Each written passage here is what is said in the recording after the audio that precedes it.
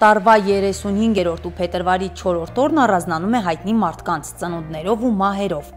1659 թվականի փետրվարի 4-ին է մահացել հոլանդացի նշանավոր ծովագնաց Աբել Թասմանը։ 15 տարի անց նույն օրը մահացել է հայ նշանավոր մշակութային գործիչ, տպագրիչ, լեզվաբան Ոսկան Երևանցին։ 159 տարի առաջ փետրվարի 4-ին ստեղծվեց Ամերիկայի համադաշնային նահանգներ պետությունը։ Այսօր Զապել Եսայանի ծնունդն է։ Օրն առիթ է եւս մեկ անգամ թերթելու մարդկության պատմության ամենախիզախ կանանցից մեկի գրքերը։ Բացեք թեկուս վերջին բաժակը։ Փետրվարի 4-ը Շրի Լանկայում ոչ աշխատանքային է, արդեն 72-րդ տարին է նշում են անկախության օրը։ Աշխարհի ամենաողբերգական դեպքերից մեկը հենց այս օրն է տեղի ունեցել։ 1976 թվականին Գվատեմալայում ուժեղ երկրաշարժից մոտ 23000 մարդ է մահացել։ 1981 թվականին ծնվել է ամերիկացի բասկետբոլիստ 2006 թվականի NBA-ի չեմպիոն Ջեյսոն Կապոնոն։ Հիշում եք երևի նրա 3 միավորանոց նետումները։ Այսօր Facebook-ի ծնունդն է։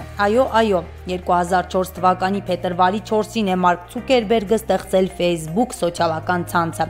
Զարմանալի է Ցուկերբերգը օգտագործելով մարդու շփվելու կարիքը դարձավ միլիարդատեր, բայց նրա ստեղծածի շնորհիվ մարդիկ աստիճանաբար սկսեցին մոռանալ իրական շփման բերկրանքը։ Խորհրդանշական է, որ հենց այս օրն է նշվում համացանցից անվտանգ օգտվելու միջազգային տոնը։ Եթե դեռ ռեզինե կոշիկներ չունեք, կարող եք ձեռք բերել հենց այսօր, փետրվարի 4-ին նշվում է ռեզինե կոշիկների օրը։